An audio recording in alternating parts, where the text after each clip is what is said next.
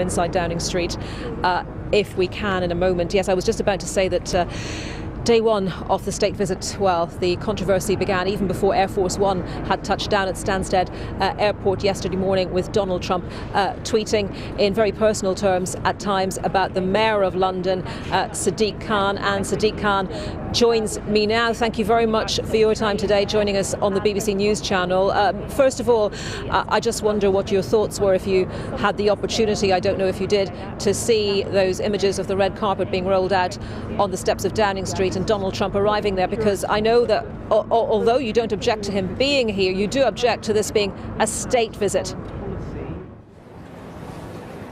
Well, I think it's really important that we have good relations with the USA, and that includes the uh, president. They're our closest ally, and we have with them a special relationship. But my objection is for him to receive a state visit, a state banquet, and all that it entails. I think we've got to be very careful about not giving the impression that we condone some of the things that he's said and done over the last uh, two, three years, from separating children from their parents on the Mexican border.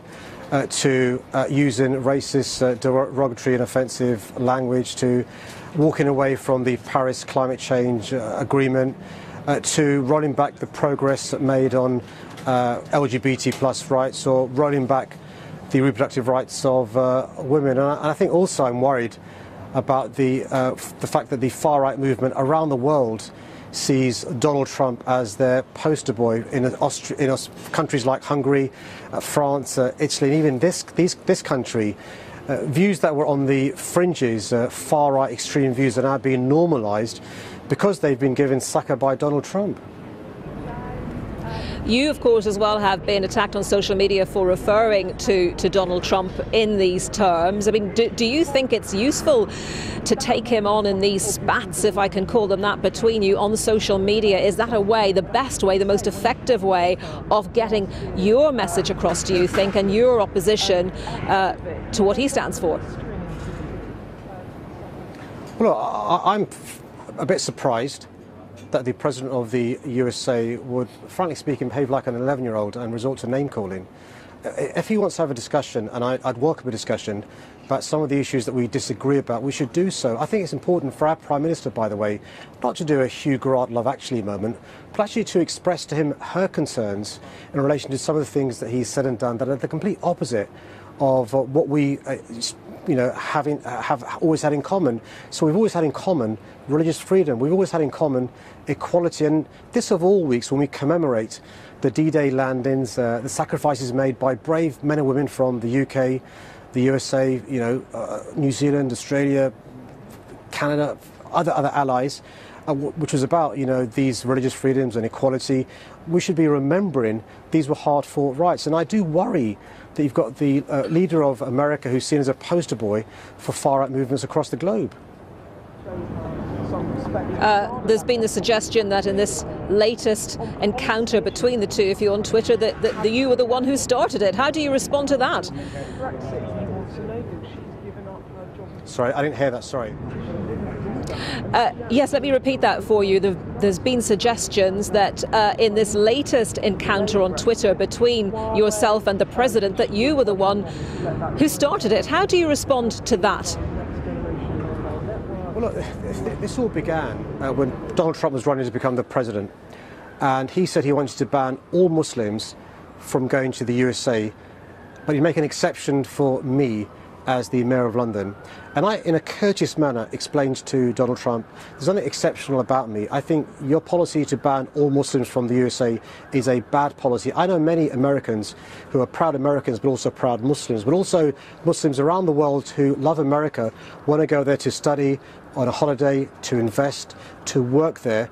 And this policy sends the wrong message, gives the impression that Islam is incompatible with the West. And that led to name calling from Donald Trump and him saying various beastly things, which doesn't really matter. The point I'm making is a far more serious point. It's not about name calling, but it's saying one of the things about having a special relationship is akin to having a best friend. And the thing about a best friend is that expectations and standards are higher than they are from a normal friend or a normal acquaintance. And some of the things our best friend is saying and doing, we disagree with. By the way, that's not saying we stop loving America, we should stop having a special relationship, but we disagree with some of the things Donald Trump is saying. And if we can't be honest and candid with our best friend, they're not really a best friend. Do you regret, though, in any sense, saying that Donald Trump was akin to a, a 20th century fascist, which is the phrase that many people have objected to? When you look at the far right playbook that's being used around the world now, that by the way, Donald Trump's former campaign manager is teaching uh, fringe groups to do to become mainstream. You go to Hungary, you go to Italy, you go to France, you go to this country, many of these far right groups are now mainstream because Donald Trump's given them succor. And history tells us that actually what these people do is they try and divide communities, they pick on minority communities, they pick on marginalised communities, they scapegoat them, and they stoke up fears. And I think they should be called out. And one of the jobs I have as the Mayor of London, the greatest city in the world, where we see diversity as a strength, is to stand up for our values. And when our best friend, who we love, uh, their leader is saying things we disagree with, say to them, listen, we think you're wrong, and we think you should realise that actually you're giving succour and comfort and mainstreaming these fringe views.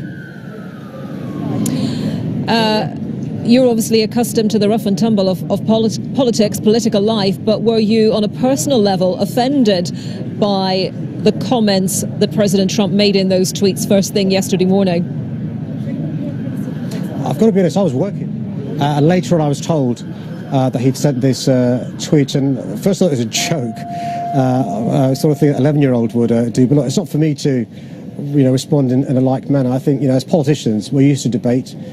Sometimes it's heated, sometimes we'll disagree, but, but name calling is, I think, beneath me, and, you know, I'd hope it'd be beneath any world leader. Uh, we uh, heard uh, the Labour leader Jeremy Corbyn, uh, who is speaking at the protests in Trafalgar Square today, say that it was an opportunity for people to protest uh, on a number of levels against President Trump, uh, including because of what he said about you yesterday. Yet do you think it's right that the Labour leader should be so publicly uh, involved in these protests today when, you know, for example, I believe he attended the state banquet for the Chinese leader? Well, I think, I think Jeremy Corbyn could do a really good job speaking for himself. But what I'd say is this the expectations we have from our closest ally uh, uh, and our best friend are different from the expectations we have from China.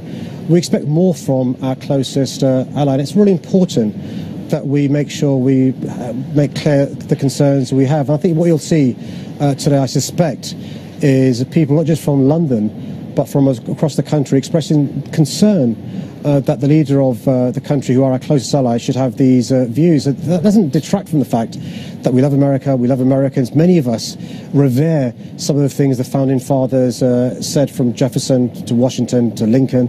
We love contemporary presidents uh, from Roosevelt to Kennedy to Clinton to Obama. And we're just disappointed that the current president says the things he does and uh, holds the views he does, but also does the things he does. I think we face a climate emergency. So walking away from the Paris Climate Change Accord is a bad idea. I think the reality is uh, around the world we're seeing women's rights being uh, sacrificed. That's why it's important for those of us who are seen as beacons for gender equality should continue to make progress. My frustration has been the lack of progress. I never expect to see in my lifetime the progress made with uh, women's rights being uh, rolled back as they have been in some states in America. It's now illegal now to have almost any abortion in some states uh, in America. I think it's really important that we stand up for uh, those rights that are, that, that are cherished by people in this country, but also in America as well. But do you have any misgivings about the uh, the Trump baby balloon being afloat again on the streets of London as part of uh, these protests today? Given that tomorrow the president is going to be representing the United States of America in Portsmouth uh, at those D-Day 75 commemorations, because we're talking here not about an individual holding an office at any one time, but you know the office itself and the symbolism of that office and the relationship with the UK, a history of, of shared sacrifice and service. Well, uh, the, the choice, it's not my balloon, by the way. The, uh, uh, of course, we've got responsibility to make sure. You, you haven't objected those, to it, clearly, yes. Yeah, but, but it's but it's on, on what grounds would you stop a balloon poking fun at uh, a leader being not raised? As long as it's peaceful, lawful, and uh, civil. I grew up watching Spitting Image, where politicians, British and American, were often ridiculed uh, on, a Sunday night, and it's satire. Uh, the key thing is to make sure it's lawful, peaceful, and uh, safe. And actually, by the way, these commemorations are really important. The 75th uh, uh, anniversary of the D-Day landings. One of the things Allies fought for, one of the things Allies fought for was the, the right to protest, uh, freedom of uh, expression, and sometimes that includes poking fun at leaders, me included.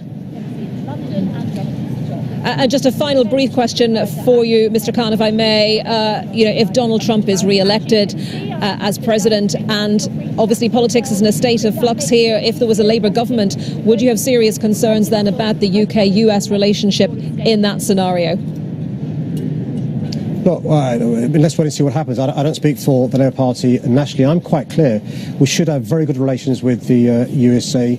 I know we work closely with them on a whole host of issues in relation to security matters, but also I see the benefits uh, to us in relation to culture, in relation to jobs, in relation to the bilateral links uh, we have. This summer we'll be seeing great American sports coming to London with Major League uh, Baseball. What I think shouldn't have happened was the state visit, uh, state banquet, and all that that entails. So I'm looking forward a Labour government working closely with a US government, even if Donald Trump's still the president.